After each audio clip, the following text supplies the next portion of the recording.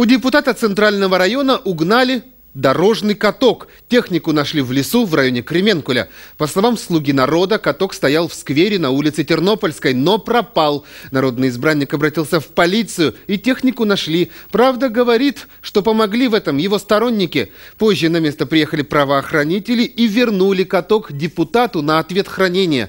Сам слуга народа связывает угон со своей политической деятельностью.